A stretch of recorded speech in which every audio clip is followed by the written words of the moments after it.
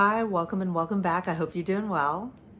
Do you wrestle with rumination? Are you replaying or rehashing or revisiting a traumatic event or some other type of situation or relationship over and over again?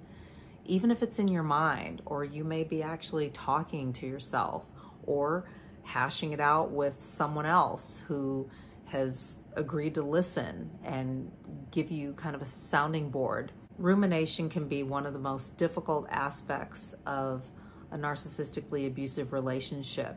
And it can be really hard to make it make sense or to resolve things, uh, even for yourself, even in your own mind.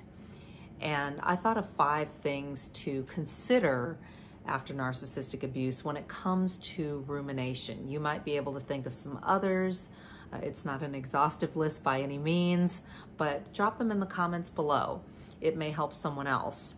And then I've got a few questions that may lead you to some truths that can help you to combat the temptation to ruminate. One thing to consider is that the way that the narcissist treated you in the narcissistically abusive relationship has nothing to do with you and more to do with how they feel about themselves. Also, them acting out based on their home training or lack thereof, and also possibly childhood trauma. Doesn't have to be, but could be. And conversely, your interactions with the narcissist in the context of the relationship are often tied to your upbringing and the way that you were programmed and conditioned uh, from childhood on and childhood trauma that you may have experienced growing up. The sooner that you realize that the way that you were treated or dealt with or spoken to has nothing to do with you, then you'll be on your way to healing and dealing with things and recovering and moving forward with your life in a more positive way. A second thing to consider is that there's really not a lot of substance there, or there's really not a whole lot of value there. And secretly, you were the valuable one in the relationship. The narcissist likely enticed you with a lot of deceit and a lot of dust. And there's really not a whole lot there.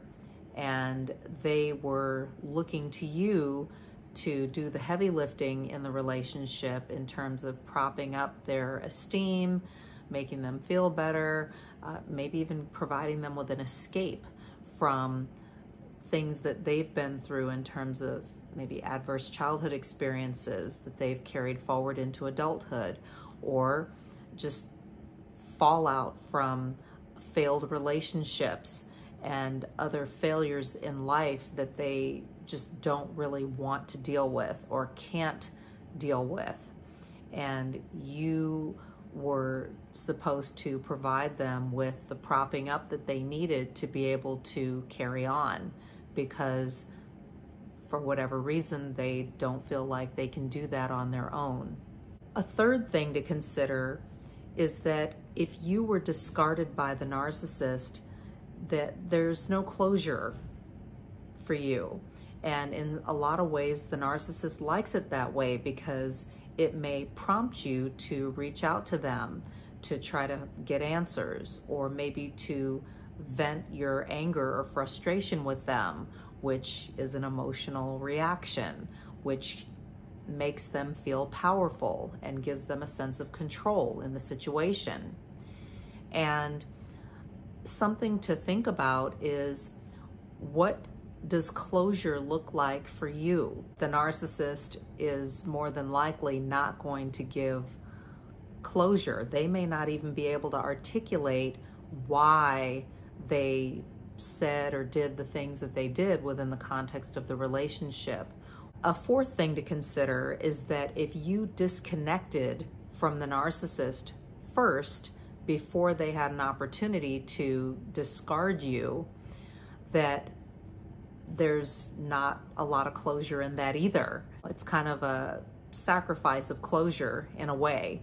Not that you would necessarily get closure from the narcissist, but you're even, you're by disconnecting, you're removing yourself from the situation before you even have a chance to really explore that. And that can leave you ruminating and rehashing things like, okay, what did I miss? How did I not see this? You know, why would they lie?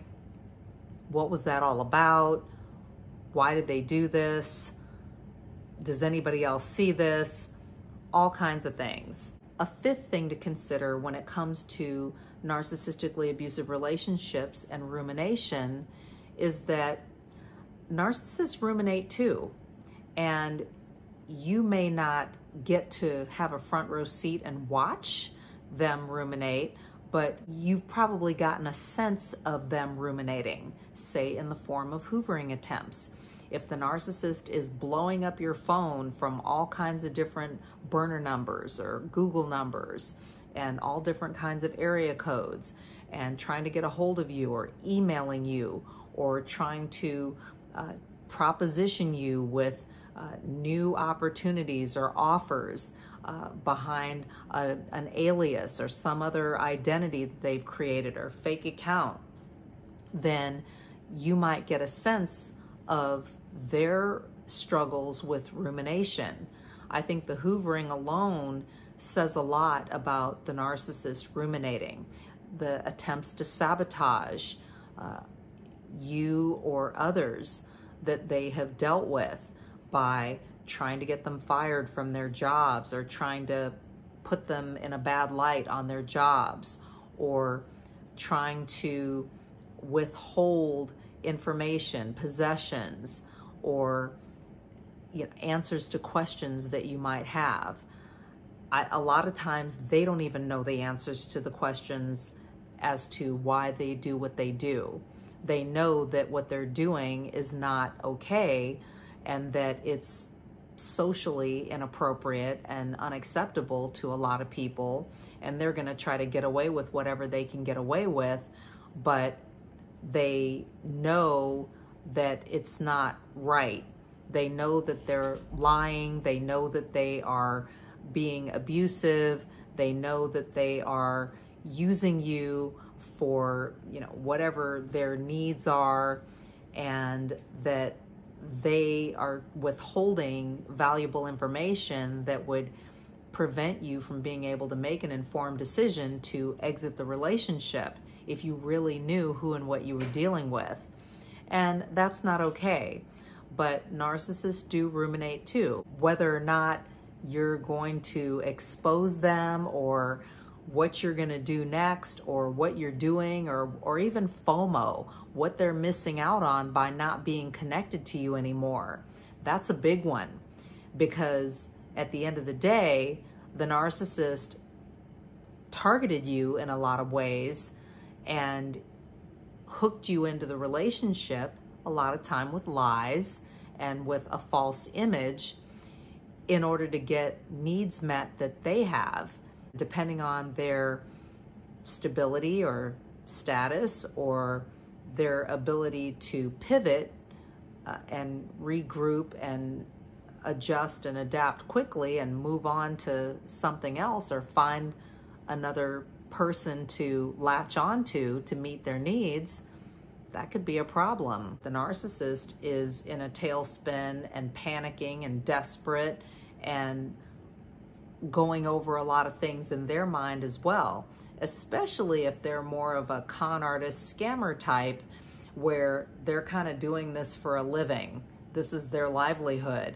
They're definitely going to want to know, like, okay, well, where did I mess up? Because their livelihood depends on it in a lot of ways. Well, where did I go wrong? What did what gave me away? Who gave me away? What's everybody saying? You know, what's everybody going to do? Is anybody coming after me? What's going to happen next? And they're fearful. They're cowards. They're panicking. They're not going to let you see that, but they'll walk it out somewhere else and they'll they'll air it out and walk it out in other ways. Could be behind fake accounts, maybe even in the comments section here on YouTube. But they're going to air out, they may talk to their enablers and try to play victim, or they may go on a fishing expedition and try to poke and prod and try to test and try to see if they can get you to to come forward with some kind of intel or they'll scour your social media look and see if they can find some answers to some of the questions that are burning in them a few questions that i thought of for you to consider after narcissistic abuse when it comes to rumination are what are your needs and not just as far as the narcissist is concerned, because I think it's fair to say that the narcissist is not going to be able to meet your needs, and their intention was never to meet your needs. Their intention was to get their needs met. What are your needs, like on a deeper level? Is it companionship? Is it like a, a fear of loneliness? Is there a void uh, in your life that you feel like you need to fill?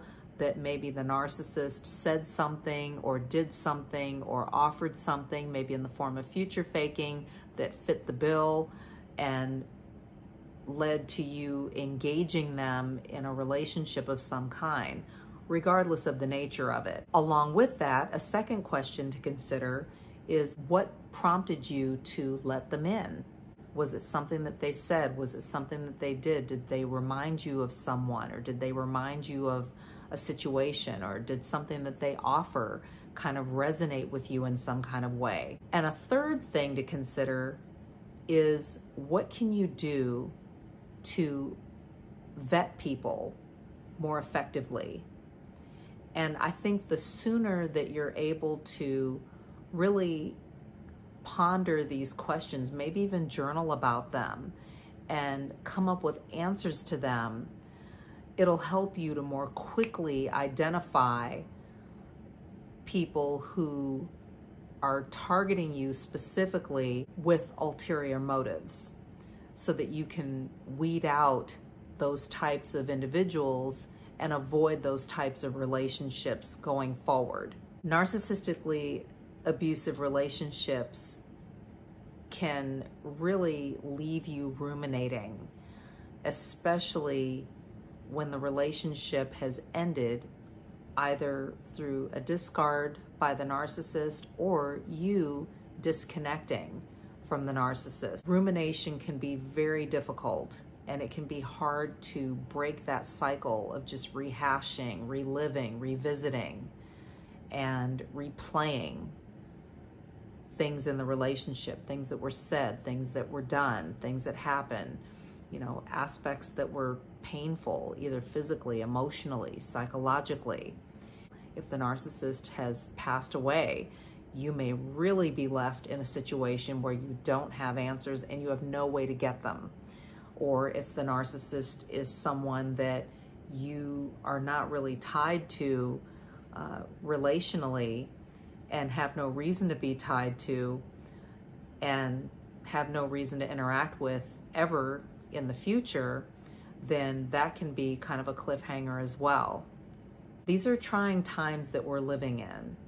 And one way or another, people are going to try you. You need to, more than ever, know that you're not alone and you're not crazy.